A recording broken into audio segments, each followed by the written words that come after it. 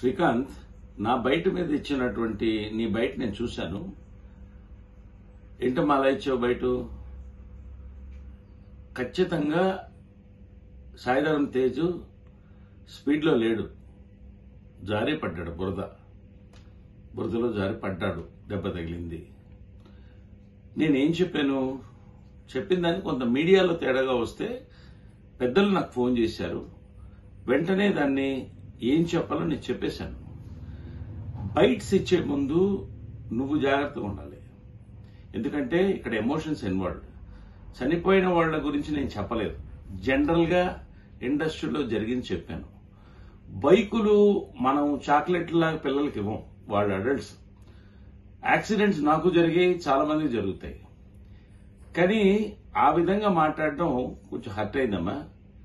నా కళ్ళ ముందు నేను హీరోగా రావడం చూశాను. మంచి సినిమాలు చేసావు మంచి పేరు తెచ్చుకున్నావు.